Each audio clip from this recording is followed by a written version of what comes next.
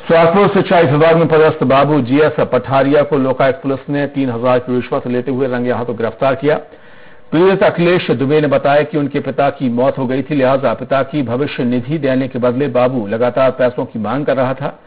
इससे पहले चार हज़ार रुपये बाबू ले चुका था, लेकिन उसने फिर सात हज़ार रुपये की मांग की तो पीड़ित ने मामले की शिकायत लोकायुक्त से की।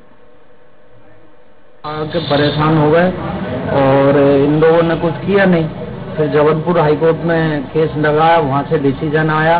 कोर्ट ने दो महीने का टाइम दिया था कि साठ दिन में इनका जो भी लेना देना है वो क्लियर करो।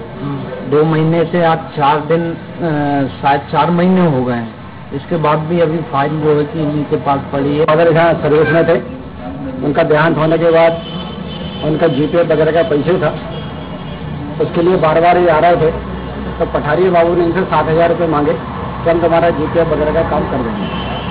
अखिलेश दुबे ने जाके लोग पुलिस अधीक्षक महोदय को शिकायत करी। और उस शिकायत के आधार पर आज हम पूरी टीम लेके आ गए और पठानिया बाबू को रंगे हाथ तीन हज़ार रुपये लेते हुए पकड़ा।